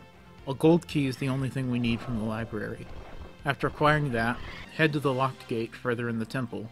This leads to an amphitheater, where the seats face a giant golden statue of your character's model as their real self. Upon trying to shoot the statue, we are informed it is protected by a force field. We have to use the three Hebrew letters to disable the force field at a console hidden behind a pillar. We're not quite there though. First we need to take care of these side rooms. Down one wing are statues that represent human success. Money, awards, and treasures, all made of gold, serve as reminders of man's achievements. Down the pathway directly behind the statue is a room with various country flags. I think this is supposed to evoke the idea of the United Nations, especially because there's a United Nations flag on the wall. It has been my experience that some Christians are concerned that the United Nations is an attempt to rebuild the Tower of Babel in a societal context. I'm not sure if I would go that far. To me, unification should always be the goal, as that is what heaven is going to be. All people are humans, and heaven will be filled with people of every possible nationality and race. Down the final wing, we see showcases of mankind's achievements, from computers to the moon landing to hair dryers and basketballs, Okay, the achievements displayed aren't the best showcase of mankind's creations. There's the scroll door, but ignore it for now. We need the three Hebrew letters before we build the last item we need. For now, head back to the Shrine of Heaven using the teleporter at the entrance to the Temple of Man. Head for the building with the maze in it that we couldn't open earlier. This door says, we can create our own truths. The correct response is Romans 1.25, which reads, Because they exchanged the truth about God for a lie, and worshipped and served the creature rather than the Creator, who is blessed forever. Amen. I had a teacher in high school who came up with a quote that has stuck with me. He said, once you see and know truth, you can't unsee it. Therefore, you have a responsibility to it. I believe this quote wholeheartedly. However, I believe that humans are also susceptible to believing that a lie is truth. When someone believes they have the truth, the only way they will let it go is if they change their mind. When we think of truth, it is hard to define. As we discussed with relativity, what's true for me is not necessarily true for you. I can think pizza is the most wonderful food on earth, but someone else may say it tastes terrible. The truth is true for both of us, yet they contradict each other. There is a difference between subjective truth and objective truth. I believe that objective truth is the thing that most humans who live to adulthood are always seeking. Why are we here? This is the universal question that we have asked since recorded history, and probably much earlier as well. I do not believe there are multiple ways to heaven. As a Christian, I believe Jesus is the only way. To me, this is the objective truth, even though that statement is subjective. I do believe that how you come to the conclusion of Jesus doesn't have to be a particular way. I knew of Jesus and claimed to be a Christian for my entire life. However, it wasn't until I was 20 when I read Dietrich Bonhoeffer's The Cost of Discipleship that I really got Jesus. I didn't come to Christ through the Bible directly. I came to him through a man who tried to kill Hitler. There is only one path, but there are many ways to find that path. Not all conversion comes through a church service. As we read the verse, we get access to our second Hebrew letter. Next, head back and take the teleporter to the Love and Peace Temple. Head to the scroll door which reads, We are all good by nature. The scroll that opens this door is Romans 3:23, which says, "For all have sinned and fall short of the glory of God." There is a contingent of people who believe that simply being a good person gets you into heaven. Similarly, some people think religion makes you a good person. Neither of these ideas are true from a Christian perspective. Christians believe there are no bad people, only people being used by sin. Humans are born to worship God. Through various lives of the world, we are turned away to pursue the flesh. We can perform bad acts, but the only bad person is the one who is unrepentant and blasphemes the Holy Spirit. The sum of Christianity is to love God with your entire being and to love others as if they were you. This is all that matters. We must love everyone. That doesn't mean we get to pick and choose based on what we think the person deserves. From a certain perspective, none of us deserve love because everyone sucks on some level. But God is a being so unfathomably merciful that he loves even the unlovable. It is hard to describe to someone who does not believe in God why a Christian believes. When you actually experience God, you no longer have a choice but to believe. To me, the idea of rejecting God is like denying gravity exists. The effects of gravity are felt and seen by all. You can't physically see gravity, but you know it is there because you've experienced it. You can see its effects. God is the same way, at least from my experiences. There are examples all throughout history of people seeing manifestations of God, but we don't see that now. I believe that God interacts with people according to the times and culture in which we live. Early cultures were much more likely to believe in the supernatural. Today, even in cultures that are theocratic, Science has made the supernatural seem much less possible. I have felt God most strongly in the moments when I am at my worst. It is only when I have nowhere else to turn that I hear God in a way that is undeniably Him. It is not a literal audible sound, but an inner knowing. With all three Hebrew letters, we can return to the temple and slot them in the stand hidden behind the pillar to disable the force field around the God of the New Age. The rune that looks like an X is the Hebrew letter Aleph, which stands for A, Aleph. The letter that looks like a fancy O is Mem, which stands for M. The letter which looks like a 7 or an upside down L is Daled. Together these say Aleph Mem Daled, which is one way to spell Adam in Hebrew. However, Hebrew is written right to left instead of left to right, so this is technically incorrect. With the force field disabled, we can collect the parts of the Hammer of Truth to knock down the statue. The closest door is in the showcase room with all the human achievements in it. The worldly wisdom says you are your own god. This quote doesn't have a singular source, but it is present in some New Age religions. Several versions of Satanism assert that you are your own god. The Satanic Bible by Anton LaVey asserts that the self is the most important part of life and pleasure should be sought above all else. Personally, even if I wasn't a Christian, I think selflessness and acts of kindness toward others are a better way to live. Pantheism is the idea that God is a collective unity of all things, and thus God is in everyone and everything. The verse used to combat the worldly wisdom is Psalms 100, verse 3, which reads, Know that the Lord, He is God. It is He who has made us, and not we ourselves. The game leaves out the last third of the verse, which says, We are His people and the sheep of His pasture. Creationism and evolutionism are two systems of cosmology that are often positioned as opposites. I do not know how the world began. It is an important question to many who are deciding if they should follow a faith or not. My experience as a Christian is that I am still curious as to the answer of these questions, but following Christ gives me assurance that these questions aren't important in the view of eternity. There's evidence that the earth is far older than most Christians believe. I do not know why many Christians are intent on thinking the earth is 10,000 years old.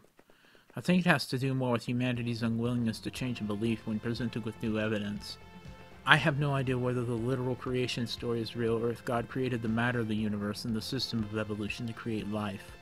It doesn't matter because I'm here and I can either choose to follow God or live my life how I see fit. What I do know is that the Bible is not a factual account of the history of the world. There are many books which contain factual history, but there are many other genres in the book which aren't meant to be read literally. It is a collection of books that have been synthesized into a single text. There are books of history, poetry, apocalypse, letters, prophecy, and more.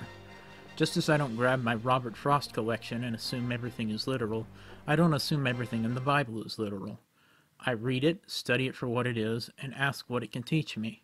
Now that we have the heavy metal head, we can headbang on back over to the Mountains of Relativity and grab the final piece for this level. The scroll door says, Many ways lead to heaven. We've already talked about this door, so now that we have the head and the shaft, we can fit them together to make the Hammer of Truth. Yeet the hammer at the statue and listen to yet another track of the worst Christian rock I have ever heard.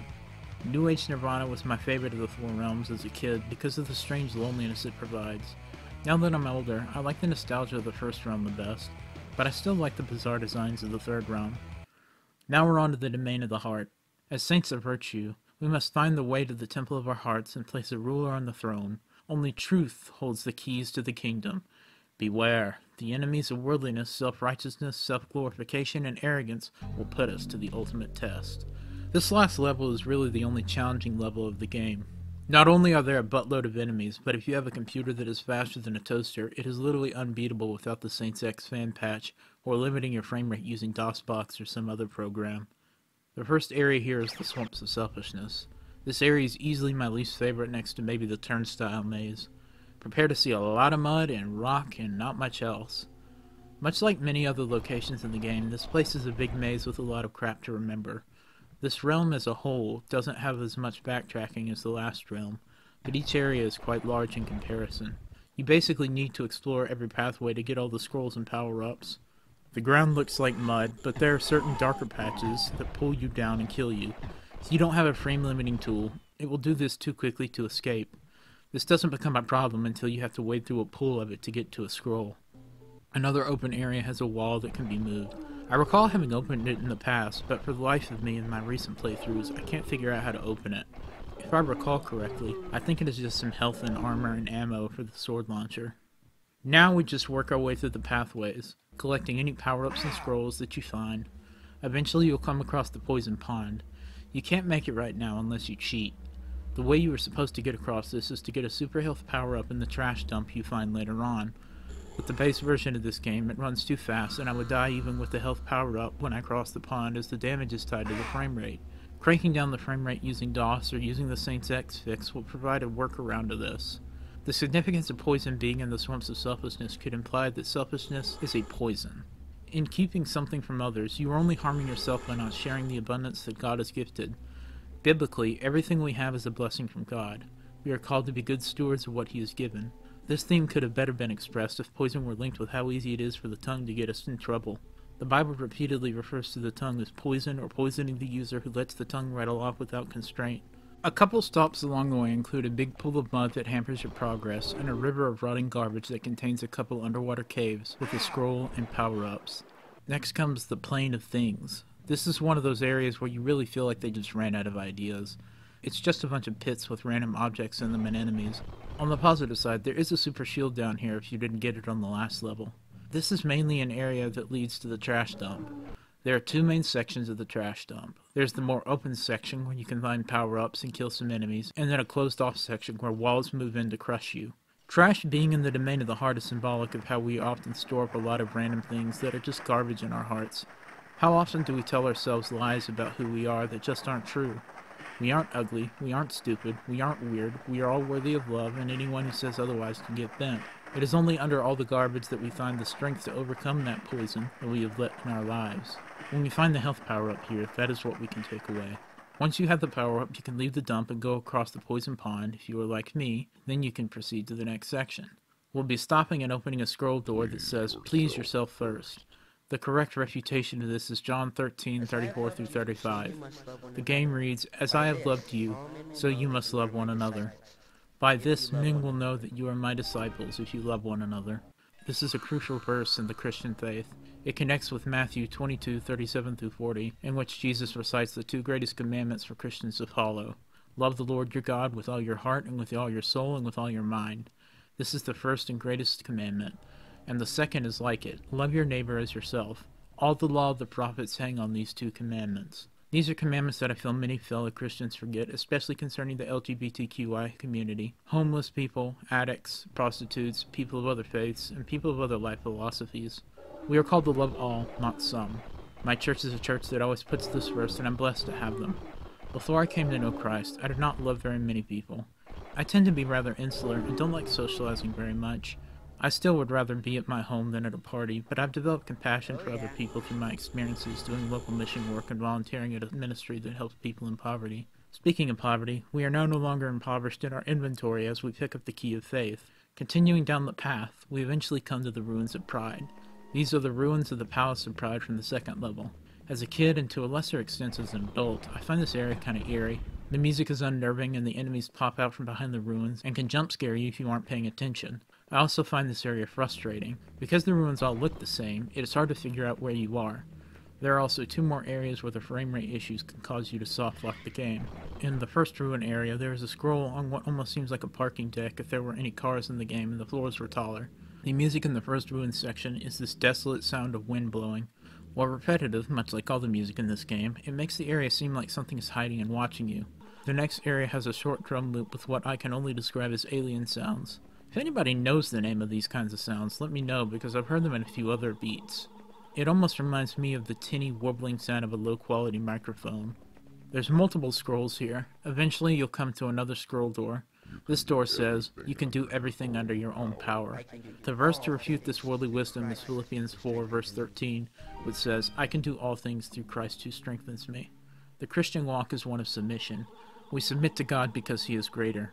In the Christian walk, weakness is strength. When our will aligns with God's will, we can do things greater than if we set out on our own. This goes in the face of modern conventional wisdom, which is very much about self empowerment. That isn't to say a person shouldn't feel good about themselves or enjoy doing challenging things.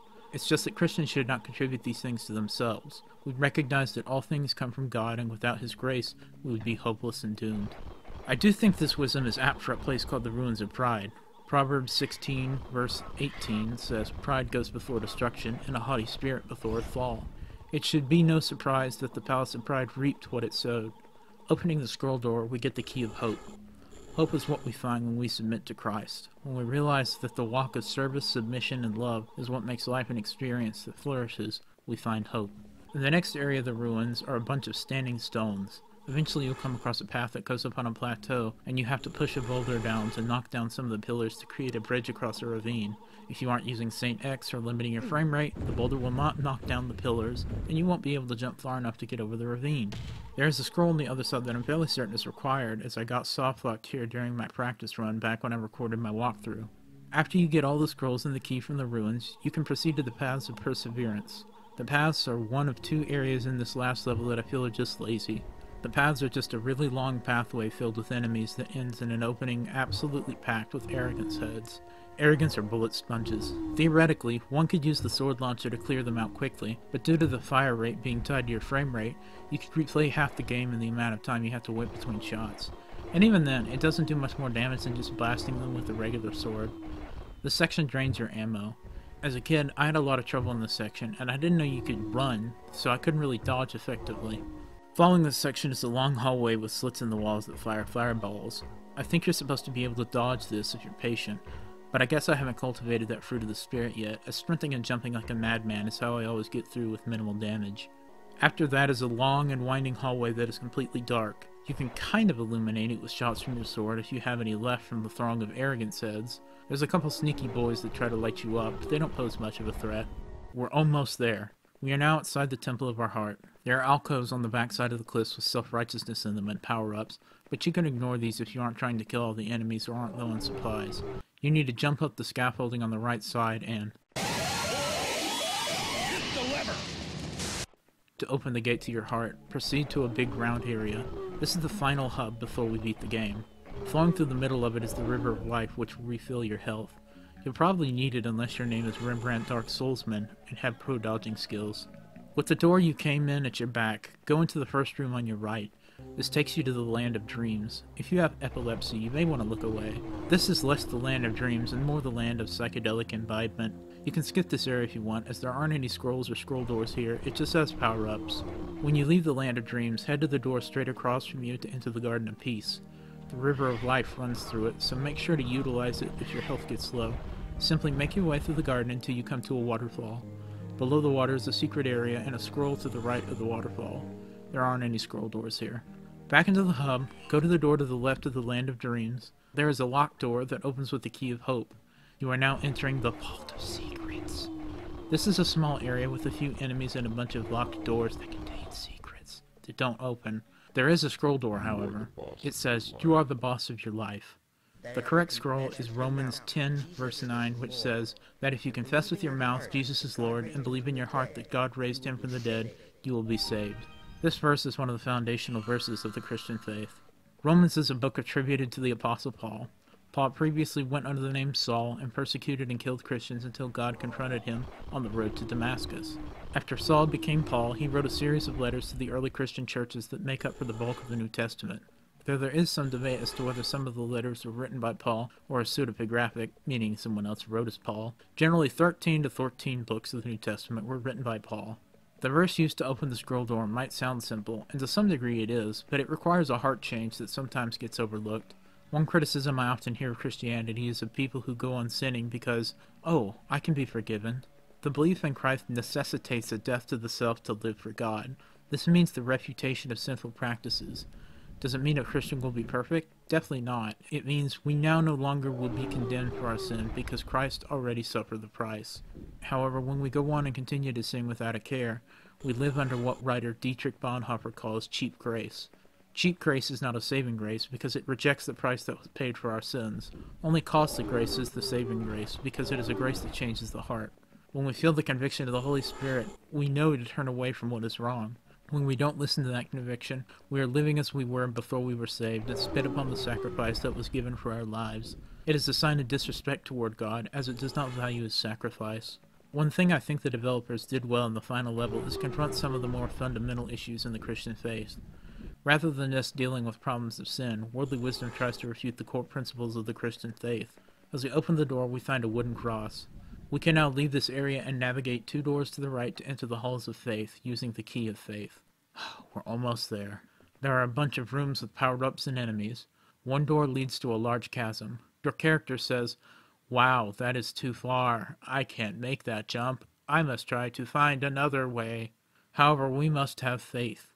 In a move that I feel is inspired by Indiana Jones in The Last Crusade, you must jump and you will find yourself thrown to the other side of the chasm in front of the scroll door. The scroll door says, There is nothing to look forward to. While not phrased in exactly the same way, this thought lines up very much with nihilist philosophy. Nihilism is the belief that there is no inherent meaning to life. The refutation is 2 Peter 3.13, which says, But in keeping with his promise, we are looking forward to a new heaven and a new earth, the home of righteousness.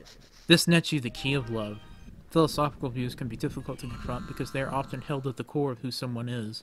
Though most people evolve their ideas about the world over time, it is rare that we radically shift our philosophies. There is no way to prove one religion over another, just as there is no way to prove nihilism over existentialism or vice versa. Your view of the world is largely how you choose to interpret it. For me, the world has only made sense from a Christian point of view.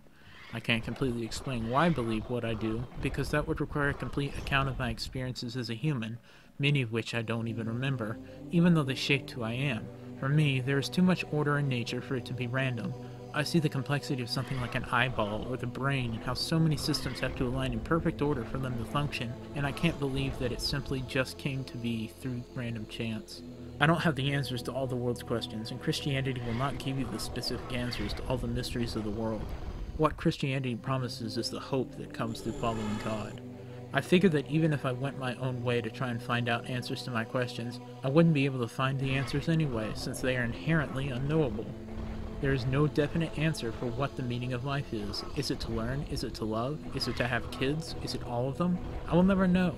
I don't think I will ever stop asking these questions because I love learning and thinking about big topics, but I am content in the fact that after I die, I'll either experience nothingness if God does not exist, or I'll find out that there is another kind of existence.